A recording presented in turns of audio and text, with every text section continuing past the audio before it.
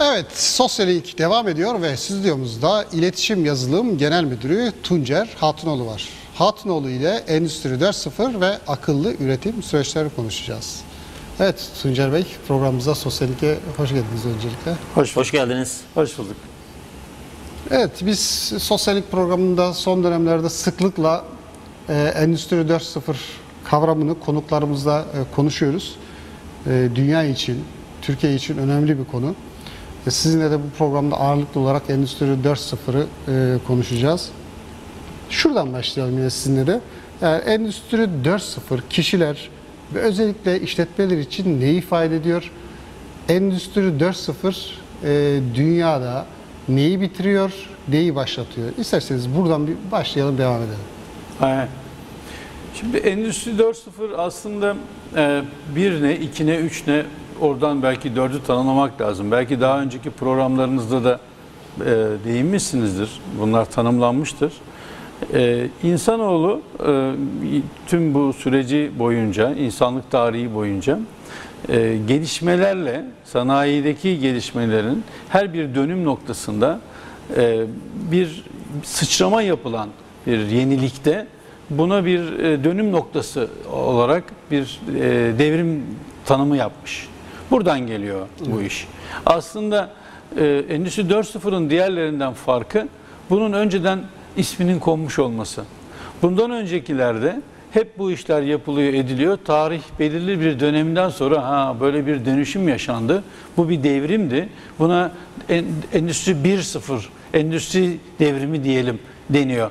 Dolayısıyla ilk başlandığında e, bu dokuma tezgahlarının 1700'lü yıllarda ilk defa oluşturulmaya başlanması, ardından buhar teknolojisinin geldiği dönemlerde kimse Endüstri 1.0 başlıyor demiyordu. Yani Endüstri Bugünkü- 1.0 makinalaşmayla başladı o zaman. Evet, Endüstri 1.0 makinalaşmayla başladı.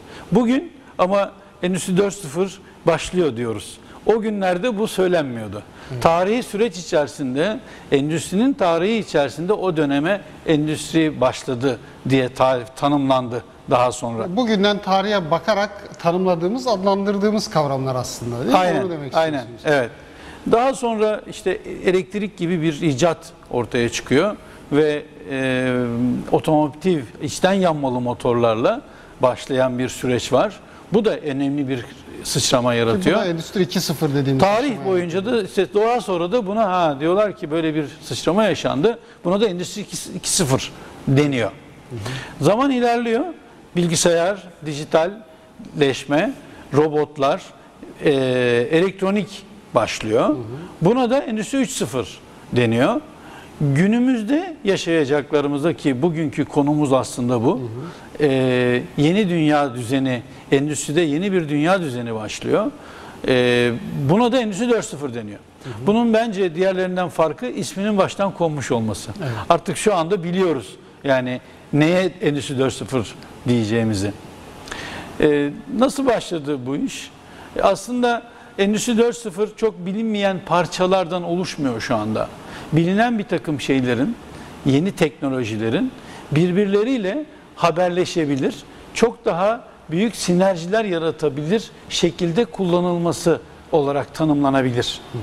Bugün robot teknolojisi var, RFID teknolojisi var, bilgisayar teknolojisi var, endüstride birçok şeyler var. Fakat bunların birbirleriyle konuşması, haberleşmesinden bahsediyoruz. Böyle başlayan bir yeni dünya düzenine Endüstri 4.0 diyoruz. Ee, bu nasıl oluştu? Bundan 2-3 yıl evvel Almanya'da e, Alman hükümetine bir e, Siemens ve Robert Bosch'un öncülüğünde firmalar topluluğu Alman hükümetine e, bir e, rapor sundu. Bu raporda Almanya'daki ve Avrupa'daki üretimin e, gidişatı hakkında yıllara sari bir takım grafiklerle e, açıklamalar yapıldı. O zaman da başkan yine Merkel'di. E, ve son 5 yıl içerisinde, e, son 2 yıldan önceki 5 yıl içerisinde diyeyim, e, Avrupa'da üretim iniş sürecinde. E, Üretim artmıyor. Almanya'da çok ince bir eğitim eğriyle artma var. Fakat Çin'de çok ciddi bir artış var bildiğiniz gibi. Evet. Şimdi Avrupa yaşlanan nüfus, ile beraber sanayiye hakim biliyor, e- endüstriye de biliyor, şeyi de biliyor, teknolojiyi de biliyor. Fakat üretimi kaybediyor. Üretim gücü Çin'e kaymış durumda. Çünkü insana dayalı bir üretim. Evet. Şimdi bu arttığı zaman, bu arttığı zaman Avrupa ve Almanya çok büyük güç kaybedecek. Bunun için yeni bir şeye, endüstriyel modeli. devrime, endüstriyel Yeni bir yeni bir üretim modülüne ihtiyacımız olduğunu söylüyorlar. Bu deklarasyonla Alman hükümeti bunu çok benimsiyor. Evet bizim endüstrimizin bir dönüşüme ihtiyacı var diyor. Ve buna da çok ciddi kaynak ayrılıyor.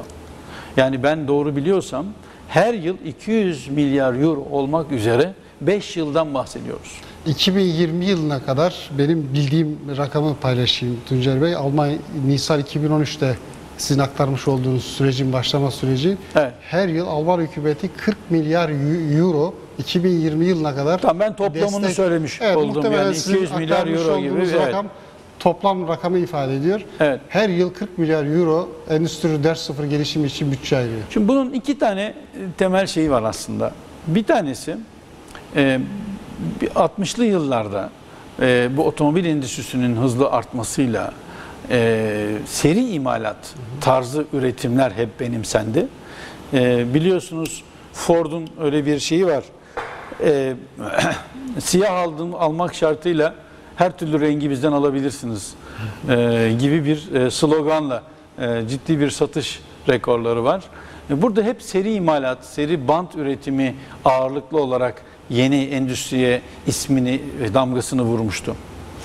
E, günümüzde bu seri imalatla aslında çok miktarda üretim yaptığınız zaman aynı şeyleri üretmiş oluyorsunuz. Fakat tüketici artık farklı ürün istiyor. Evet. Yani o zaman herkes siyah araba alabiliyordu. Bugün öyle değil. Değil. Bugün özellikle herkes arabadan örnek verirsek arabamın şurası şöyle olsun, aydınlatması böyle olsun, iç döşemesi şöyle olsun. Yani kişi kendi Kişiye arabasını kendi arttırarak. konfigüre etmek istiyor. Evet. Dolayısıyla aslında üretim bir yerde o kadar şeye geliyor ki kişiye özel hale geliyor. Şimdi bu tip kişiye özel bir üretimi seri imalat bandında şu andaki imkanlarla üretme imkanı yok. Ya da çok pahalı. Pardon var ama çok pahalı. Evet. Bu nedenle bireysel bu tip üretimler hala hazırda çok yüksek fiyatlara satılıyor. Fakat talep bu yönde. Şimdi- Rekabetin bir gereği de. Rekabet de bizi buraya getiriyor. Evet. Aynen. Pazar bunu istiyor. Peki e, bunun altında bilişim mi? Şimdi Bilişsel buraya geliyorum.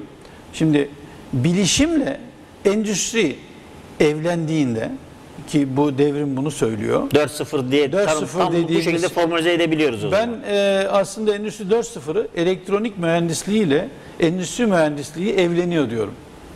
Bugüne kadar üretimi endüstri mühendisleri konuşuyordu. Makinaların otomasyonunu, bu makine çalıştı, çalışmadı, efendim şunu yapsın, CNC tezgahlar, PLC'ler bunları da elektronik yapıyordu. Ama birbirleriyle konuşamıyorlardı. Bugün artık bir ürün hatta girdiğinde, o makinenin önüne geldiğinde, o makine kim için bu ürünü üreteceğini ve ne yapacağını bilip sadece onun için üretim yapacak. Evet. Diğer bir parça geldiğinde diğerini Evet, üretecek. burada Evet. hemen tam e, yerin geldiğini düşünüyorum.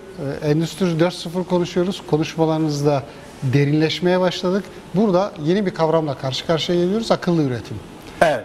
E, Endüstri Tamam, 4.0'ın doğru. kalbini oluşturan akıllı üretim. Evet. Bu aktarmaya çalıştığınız üretim süreçlerinin önemli parçası. Doğru. Şimdi burada akıllı üretim birçok e, sanayici de birçok e, iş sahibi de bu kavramı sıklıkla duyduğunu düşünüyorum son dönemde. Endüstri 4.0 kavramı ile birlikte. Akıllı üretim ne demek? Yani ne yapınca e, sanayici akıllı üretim merhalesine geçmiş olacak? Yani aslında biraz e, ismi de bunu güzelce tarifliyor. Standart aynı şeyleri yapmanın dışında sistemin kendisinin karar vererek bir şey yapmasından söz ediyoruz. Buna akıllı üretim diyoruz. Ve bu çok derinlemesine aslında birçok alanda konuşulan bir konu. Ee, şöyle bir örnek vereyim. Biraz evvelki şeyde. Düşünün ki bir malzemeyi depodan aldınız. Bu makinede işleneceği zaman bu makina bu parçaya ne yapacağını biliyor. Diyelim ki delik açacak. Bu parça için dört tane delik açılacaksa biliyor dört tane açıyor. Öbür parça geldiği zaman üç tane açıyor. Dolayısıyla makina ne yapacağını bilir hale gelmiş oluyor. Burada bir akıl vermiş oluyorsunuz. Veya siz düşünün ki makinenin üzerinden topladığınız bir takım datalarla makinenin ne zaman arızalanacağını önceden görebiliyorsunuz. Evet.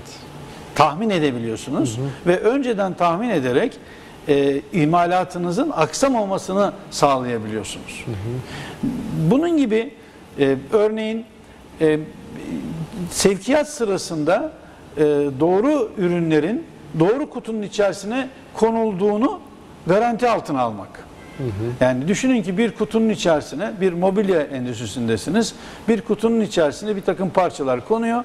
Gidiyor dışarıda monte edilecek.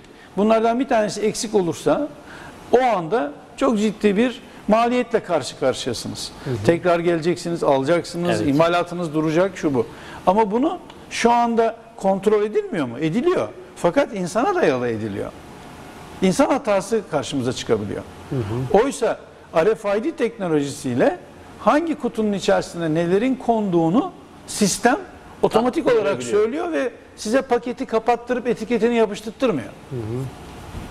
Aynı şekilde aynı kutu böyle bir e, şeye sahip olduğu için, akıllı bir etikete sahip olduğu için doğru kamyona yüklenmesini kontrol ediyor sistem. Yanlış kamyona yüklenemiyor. Yani yüklediği zaman sistem ikaz ediyor. İkaz veriyor. Evet. E, bütün bunlar aslında akıl dediğimiz yani sistemlere akıl verdiğimiz zaman insan hatasıyla, insanın üretimiyle yapılacak insan hatasını ortadan kaldırmak. Şimdi Endüstri 4.0 neyi getiriyor? Aslında olabildiğince en az insan gücüyle üretimi getiriyor. Verimliliği artırarak ucu yani insan gücüyle insana harcanacak oradaki parayı minimize edip maliyetleri düşürmek ve hatayı en aza indirmek. Yani bunun ucu işte makinalarla makinaların haberleşmesine gidiyor. Ben burada şunu soracağım hemen. Bu akıllı üretim teknolojilerinde biz neredeyiz? Ülkemiz nerede şu anda? Ya şuna inanın e, aslında bu bileşenler Türkiye'de var. Yani bugün RFID teknolojisini RFID dediğimiz örnek verirsek e, Boğaz Köprüsü'nde araçlar geçerken yukarıdan tanıyor. Kaç senedir kullanıyor Türkiye bunu? Yani herhalde bir 15-20 senesi var. Var, var. İşte o RFID teknolojisi Evet. aslında. Yani oradan geçen arabayı e, antenle tanımış oluyorsunuz. Ya zaten birçok sekt- sektörde de entegre bir e, iletişim var. Otomotivde örnek veriyorum. Dünya Evet, teknolojisiyle entegre şu anda birçok aracın modelleri önce Türkiye'de üretilip satılıyor. Yine Elbette. makine teknolojisinde çok ciddi Elbette. iş ortaklıkları, yabancı Elbette. sermayenin yatırımları var. Evet. O açıdan Türkiye'nin gelişiminin de en azından bu akıllı üretim teknolojilerinde paralel olduğunu düşünerek sordum biraz da bu soruyu. Şimdi maalesef sanayimiz e, bu bilinçte değil henüz. Yani yavaş yavaş bu yapılıyor. Yani üretim sektörü e, bu işte biraz geride. Bunu e, henüz batıdaki gibi, Avrupa'daki gibi ciddi bir politika haline getirilip bir dönüşüm yaşanıyor diyemeyiz. evet. Evet. Ancak ülkemizde bunun bütün bileşenleri var. Bunu e, geçmişte olduğu gibi hani bunu da yurt dışından getirip de kullanırız dememizi gerektiren bir konu yok aslında. O altyapı mevcut diyorsunuz. Evet üniversitelerimizde bakın elektronik mühendisliği, endüstri mühendisliği, e, mekatronik mühendisliği bütün bunlar bu- bile- bunun bileşenleri ve üniversitelerimizde bu bilgi birikimi var. Bunu yapabilecek projeler üretilmesi lazım ve sanayicimizin kendi ülkesinden bunu almak istemesi lazım. Kendi vatandaşına güvenmesi lazım.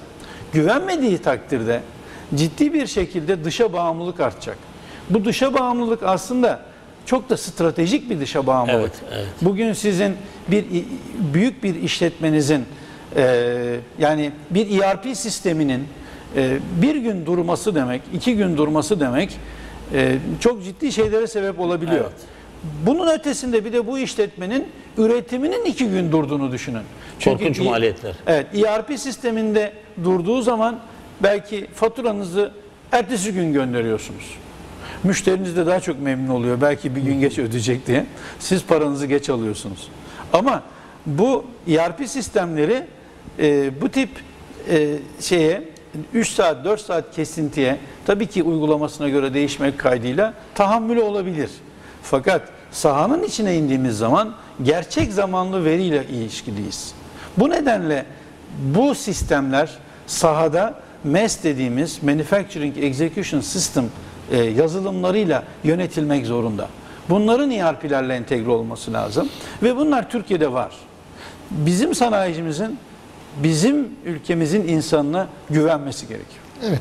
Şimdi bazı e, konuştuğumuz e, uzmanlar diyor ki Tuncer Bey, Endüstri 4.0 çok rahat Bursa'dan başlayabilir. Bursa bir sanayi kenti.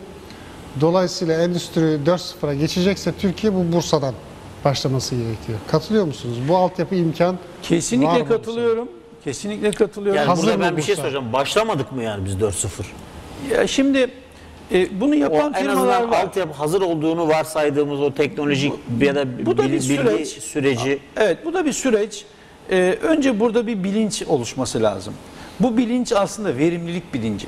Evet. Yani fabrikalarımız e, şimdi karlılıklarımız düştü diyor. Karlılıklarımız sürekli düşüyor. Doğru ama rakipleri e, batıda e, verimliliğe son derece önem vererek e, maliyetlerini düşürebiliyor. O nedenle bizim sanayicimiz para kazanamıyor. Bizim sanayicimiz verimlilikle biraz e, tanışması, biraz haşır neşir olması, buna kafa yorması gerekiyor.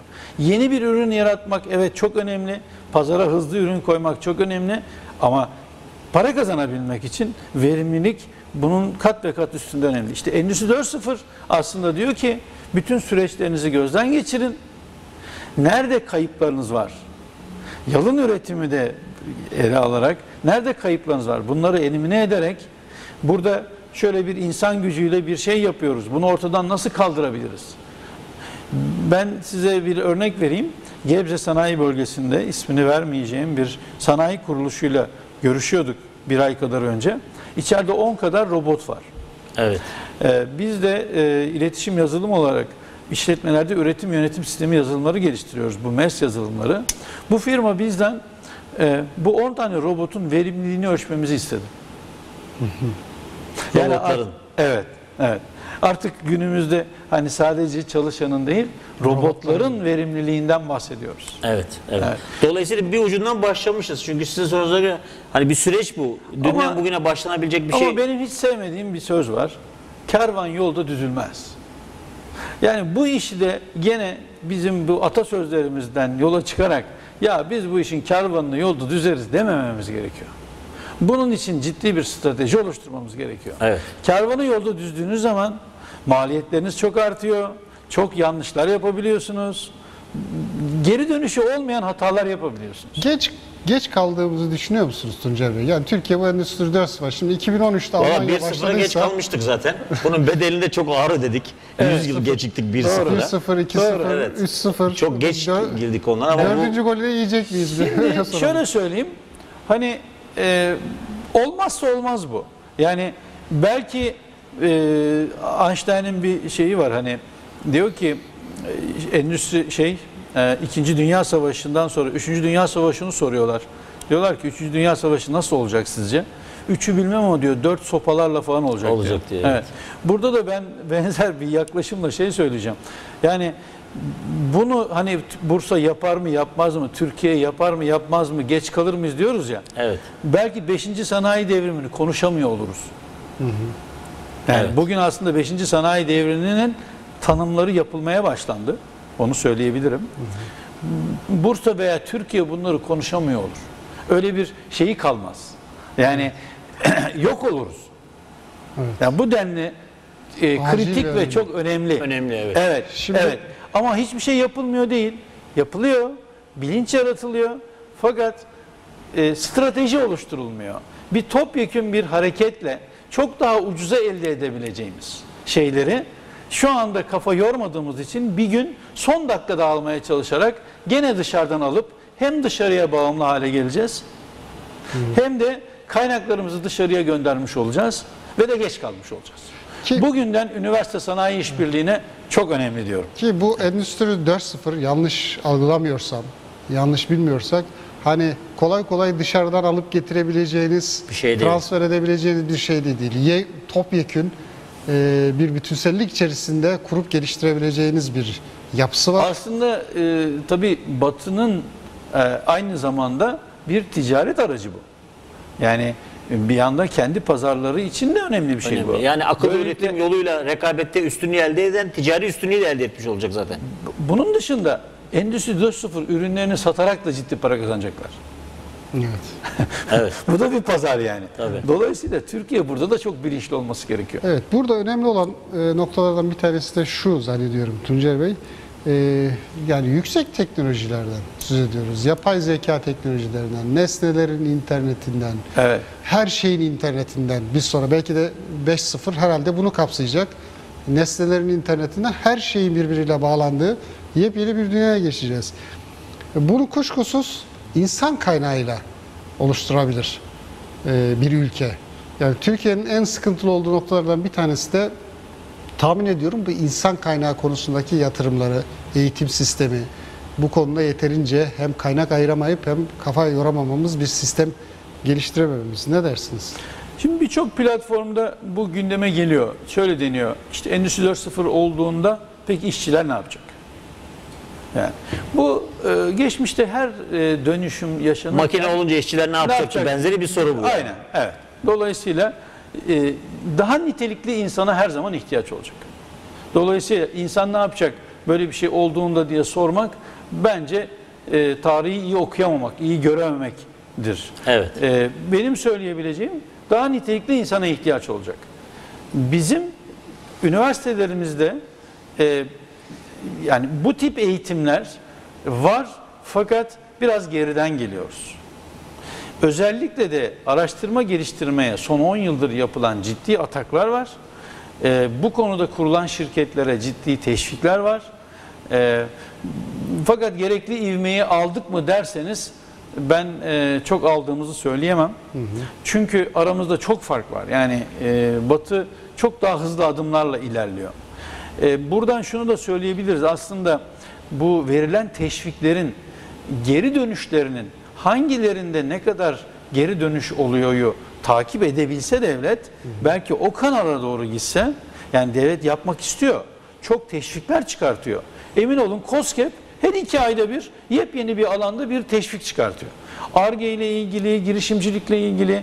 Fakat acaba bunların hangilerinde nasıl bir geri dönüş var? Bu kaynaklarımız da kısıtlı olduğuna göre bu geri dönüşe göre kanalize etmek lazım e, kaynaklarımızı diye düşünüyorum. Evet. E, ama ülkemizde bu kaynaklar var. Üniversitelerimizde bu bilgi birikimi var. E, özellikle Endüstri 4.0 anlamında söylüyorum. Ama daha ötesindeki o Endüstri 5.0 için söyleyeceğimiz teknolojilerde çok gerideyiz. Evet. Çok gerideyiz. Evet Tuncer Bey, yani konuşacak aslında Endüstri 4.0 bu konularla ilgili çok detay da var. Evet. Ee, ancak maalesef programımızın da bir süresi var. Evet. Ee, umudumuz o ki bundan sonraki süreçte de bunları konuşmaya devam edeceğiz. Bunlar konuşmaya da mecburuz. Çünkü bilgi üretmeden, fikir üretmeden bu konularda yol kat etmemiz mümkün değil. Katıldığınız için çok teşekkür ederim. Son bir şey ekleyeceksiniz. Ben teşekkür ederim. Bence e, bundan sonra bu tip şeylerin içerisinde sanayicilerimizi de davet Evet, edelim. bu konuyu bir sanayiciyi de davet ederek hep Evet, birlikte hep beraber yani bir veya iki sanayiciyle Tartışmakta beraber fayda var. tartışmakta fayda var. Evet, diyorum. teşekkür ederiz. Sağ olun. Ben teşekkür ederim. Sağ olun. Evet, Sosyallik programında stüdyo konuğumuz olan İletişim Yazılım Genel Müdürü Tuncer Hatunoğlu'na teşekkür ediyoruz. Hatunoğlu ile Endüstri 4.0 ve akıllı üretim süreçlerini konuştuk. Gelecek hafta yeni konu ve konuklarımızla yine karşınızda olacağız. Görüş ve önerilerinizi bizimle bilgi.sosyalik.com ve Sosyalink Twitter adresi üzerinden paylaşabilirsiniz. Haftaya görüşünceye kadar tweetiniz bol, paylaşımlarınız neşe dolu olsun. Hoşçakalın.